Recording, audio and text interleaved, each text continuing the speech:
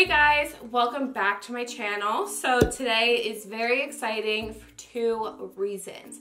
First one is I am filming on a brand new camera. Um, before I had the Canon SL1 and today I am now filming on the 80D by Canon. So please bear with me while I get all the lighting situated. Um, I tried filming this before and some lighting was off. I think I have everything good right now. If I'm like a little off center or if the microphone's a little weird or like this side of the lighting is brighter than this side, please excuse that. I'm like in a process right now trying to figure everything out. Which is the main reason why you're here, is this is the start of my Project Pan for 2020. You guys seem to really enjoy me doing it last year, so we are doing it again this year, and it's bigger and better. I am super excited for this year. I have a couple of changes to how this is going to go, but it's gonna go pretty much the same way. This is in um, collaboration with everybody else on YouTube that's doing hashtag Project Pan 2020, which was started by Beauty News, which is, if you don't know that channel, I'm gonna link it down below. Love them so much. They're really infamous for destroying makeup and weighing it and um, seeing how much product you're actually getting. It's a really, really cool channel, so go check them out. They started this. They created this spreadsheet and all that good stuff.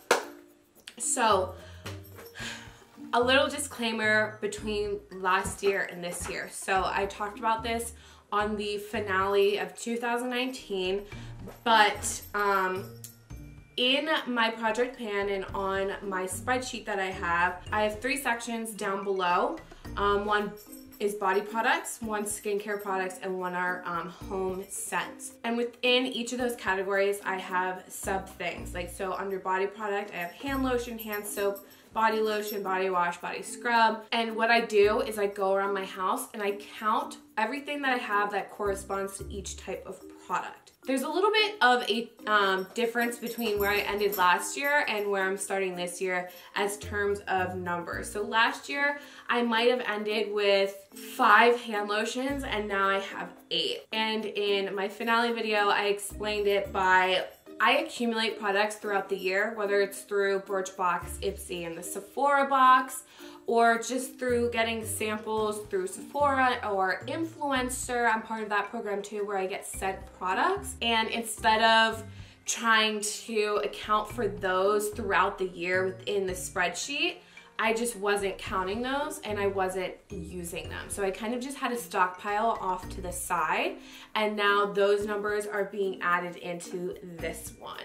Um, didn't add them into 2019 because things would get really messy, math and all that kind of stuff. You guys would be confused, so I just wasn't including that stuff. So now the, these numbers that I'm going to share with you today are an accurate representation of how I am starting the year out. So let's go to the top of the spreadsheet and let's start this baby. Also, sorry, of course I have my dog sitting right here. She has a cone on her head. She got fixed. So she's a little bit louder than normal because her cone hits everything and stuff like that. She's pretty content chewing on something right now, but I don't know how long she's gonna last like that. Also, I'm talking very fast. Can we talk about the fact that I have an escape artist. So she, since she has her cone on, we put her in a different crate that is bigger. It's a more like it's like a cage crate, whereas normally we have a kennel crate for her. The cage crate is a problem because she can escape. Um, she rattles the crate so hard that the latches just come undone. So what we did is we started to zip tie them. Well, I looked through my monitor today while I was at work and she got out of her crate. So I come home, she chewed off all of the zip ties we had on there and then rattled the cage so hard that the latches came undone. And she had a free for all in the bedroom, which is real great. Anyways, if you have problems with your dog like this, please let me know down below because I feel like my dog's just crazy. I don't know. Okay, tangent over. Let's get on to the products. Okay, so last year I did the Hourglass primers. Didn't really focus them on them that much, but I got them done. So I have three primers this year. All three are different. So first off, we have a medium size of the Smashbox, the original Photo Finish Smooth and Blur Primer. Definitely think I can use this up. I blur my pores every single day. This is completely full, never been used. Then we have the Tarte Quench Hydrating Primer, which is just a little baby. I've been really wanting to use this, especially now I'm really, really dry because it's cold out. Um, this has not been used either, so it's full. And then another full product, but this is full size. This is the Derma Protect Daily Defense Broad Spectrum SPF 50 Primer Sunscreen in a universal shade. This is by Dermaflash. It blurs, perfects, and protects. So going to get this done as well. Concealer, I have one this year and it's the same one, just a different shade. This is the Milani Retouch and Erase Concealer. Um, I have one of these that I keep in my work bag for um, random touch-ups and I want to keep that one there. I like it a lot, but this has been sitting in my drawer. It's almost completely full. I probably used this like once or twice, so I really want to use this bad boy up. Bronzer and contour is the same as um, last year.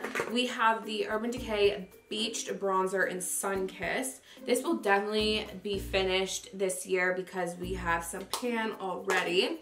And then the Aesthetica Cosmetics Contour Palette. I am going to finish this this year. You're hearing it here first. It's going to happen. I'm gonna do it. These bronzer pans have a good bit of use. I've really started dipping into these and using them to like kind of card out my cheeks. So this, it's gonna happen. Okay, so now we have blush, two Tarte blushes, one from last year, one new. Last year's is classic, so it's the one I was really working on that I've hit major pan. I think by March this will be done. And then we have um, Prim, which is from the same collection that I got this, and I think it was like Amore, Amore, something like that. Um, these are from a holiday collection from a couple years ago. This is Prim, so like a really nice nude color. Super excited to start diving into that. Next up is highlighter, and this is where things are going to change a little bit. Highlighters and eyeshadows, but highlighters first.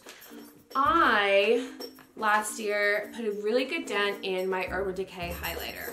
Said bye to that. It's very old and it was very much used. So I am very happy with my highlighter collection, how it is right now when it comes to individuals. Last year I did a couple declutter series, so I'm pretty solid when it comes to that. So we are working on highlighter palettes. I'm very excited to do this. These don't get as much love as they need to. I rarely use these, but I love them so, so much. So I'm making it a point to use these. So how it's gonna go is I'm going to switch them out by monthly. So to start, we are using the Anastasia Beverly Hills Nicole Guerrero Glow Kit. I love this sucker so much. My favorite highlighter palette ever, ever, ever, ever. It has lots of different tones, so many different shades. It suits all skin colors, but unfortunately, they don't make this anymore. I cannot deal with that. So I want to show this love this year. So this is for January and February. For March and April, we have the Glow Kit. That's the Sugar one by ABH. Um, really, really nice. I haven't really dipped into this that much except for butterscotch. I've probably used once or twice. The Nicole Guerrero one I have used quite a bit, but I'm very excited to use this. I'm pretty sure they still make this one. I have one that they don't make anymore. I don't know. But I'm excited for this. Um, this is gonna look really great in the spring. May and June, we have Strobe Genius by NYX. Not sure if they make this anymore, but it's a really great palette. You have lots of different tones and colors in here, so it's a very universal palette. You to have a purple in there if you're like super, super fair. Then we have the Kris Jenner and Kylie Jenner palette. This is perfect for summer. So this is gonna be July and August. This even has one blush, which I may dabble into every once in a while, but really I'm gonna focus on these colors right here. Then for September and October, we have these sleek palettes right here. This one is the darker one, Cleopatra's Kiss. And then we have Solstice, which everybody loves. Okay, and then to end everything off in 2020, we are going to be using the Makeup Revolution palette by Soph X. Really, really great. Really reminds me of Solstice. I like this a lot. It has so many great colors in it. Just to show you guys, I think they still make this. I'm not entirely sure, but I feel like I've seen it recently in store. Okay, that is highlighters. Sorry, I'm over here on my computer. Um, next on, two eyeshadow palettes. We have palettes and then we have singles. So palettes first. Got them right here. So, ABH palette to begin with. Wearing it on my eyes right now. This is the self-made palette. They don't sell this anymore. This is one of their best releases that they came out with. People were obsessed with this. Um, I have some dents in some colors already um, because I did use this a little bit last year and I've already been digging into this starting January 1st and it's now the 14th that I'm filming this is going up on the 15th really falling behind here. But I tried filming this video before, here comes Conehead, and like everything was just awful, like the sound and the lighting. What'd you think? Oh, you sleepy girl? Is you sleepy girl? From getting out of your crate that took a lot of energy. Yeah? She's so funny. Oh my god, my baby. So yeah, this is going to be January and February. Okay, I'm so excited to be using this palette. This is March and April the Carli Bybel Deluxe Edition. So I have the smaller one and then of course I got the bigger one because these tones speak to me like no other. I really like this and I never reach for it. I don't understand why. This has everything I need, like everything. And I love rosy purpley tones on my eyes because I have brown eyes if you can tell. Um, but yes, I love this. I'm going to be using the eyeshadows, maybe use these highlighters as like a lid shade or something like that, but I'm not going to use them really as highlighters unless I'm like really feeling it that day. Okay, so this might be a little controversial. I said today is the 14th, yesterday was January 13th, and that's when Nikkie Tutorials came out as trans, which is so amazing. Like, hello, get it. But with that, there's a lot of controversy happening with Too Faced right now. And these are products that I already own and I want to use them up. I don't want them to go to waste. I spent my money on it. I do not, let's get this straight. And Millie, you need to be quiet for this because serious moment. I do not condone what the owner, Too Faced Sister, has been saying, not just about Nikkie, but like forever and ever and ever. I know that there's like a ton of controversy around Too Faced right now, and there has been in the past, but these are products that I want to get use of because I bought them. I'm not gonna do tutorials with them or anything like that. I'm just simply going to show you when I make progress on them on here. So let's say that right now. So the white peach palette. This is for May and June. I love this color scheme. I think it's gonna be really great transitioning spring to summer. We've got lots of warm tones in here, but like a pastel pink, some like rosy tones, um, so I'm excited to get some use out of this because again, I spent my money on it. Okay, July and August, we are doing the Lorac Pro. This is the third one. Sorry, I didn't say that. This is my favorite one that they have come out with. Again, rosy tones. I just really gravitate towards these and I, I love the concept of these palettes. Nobody ever really talks about them anymore. I know because there probably are better eyeshadows out there and for cheaper prices now. Like you've got ColourPop and Morphe and stuff like that. But these are OG.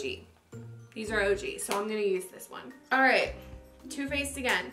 This is the semi-sweet chocolate bar. I think this will be really nice transitioning back into the fall. You have a lot of warm tones in here. Very excited to get some use out of this. Again, bought it with my own money, so I'm gonna use it.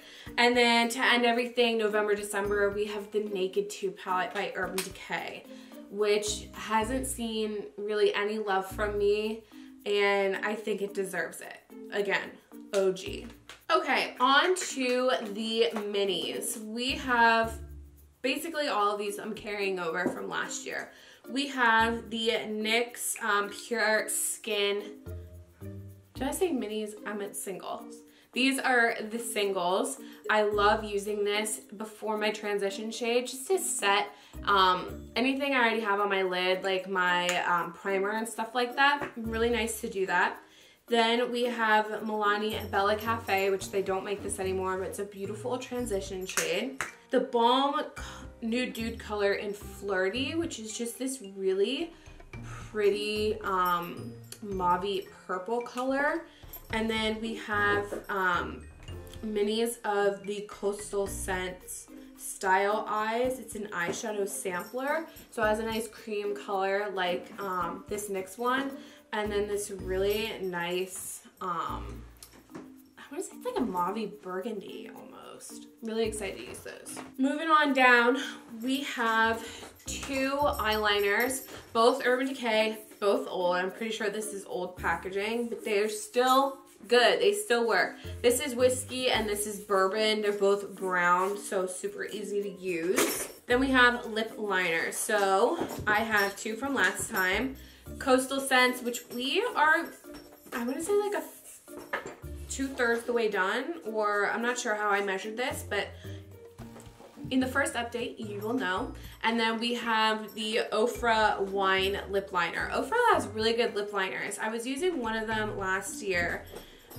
God, what was it called? Like soft mauve or something like that? And I lost it. I don't know where it is. I need to check like all my purses because I have no clue where it is. Millie wants me to throw her ball, but she won't even let go of it. Anyways, I'm gonna get these done this year. Lip products. We have three lipsticks, and I'm even adding liquid lipsticks in here, and we have three of those. So, two of the lipsticks from last year. This is um, Skimpy by ColourPop.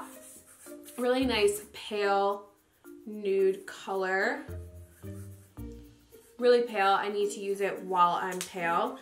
Then we have Sexy Mother Pucker in Fifth Avenue. This is by Soap and Glory. So it's um, a little peachier. And then the new one for this year is the um, matte lip color by Lorac in the color Nude. So really going for a nude theme here. Right there. So you can kind of see like a color story happening. Um, it's just products that I like to use, you know, and I want to use them up. But the color comes in with these bad boys. So these are the Kylie Cosmetics Kris Jenner mini, um, two mini velvets and one matte. I used up the glosses that came with this set. Um, so we have the matte, which is Boss, which is a, a candy apple red. I'm not to swatch them because they will never come off. Then we have a velvet in Overwhelmed, which is like a deep berry color. Then the last one is Too Blessed. This is a velvet too, and it's like a purpley berry, a little bit um, lighter than this deeper berry. Now on to fragrance. So starting this off with, I have 86 fragrances currently. That means big guys, medium guys, tiny guys, really tiny guys. I have a ton. I collect perfume. Scents are very important to me. I attach memories to them. So there's some that I will never get rid of. Even if they're super old, having the bottle around, just whiffing them a little bit but not putting them on is still very important to me. But I have some that I'm willing to um, completely use up this year. And we did really well last year with the scent category, so I'm amping it up this year. And if you're still freaking out about my perfume collection, this whole thing is filled with these minis. So I include these as well.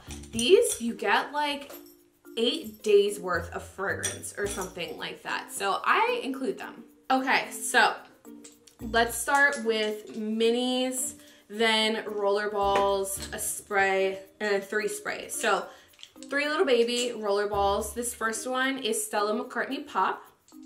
I have not used this. It's full.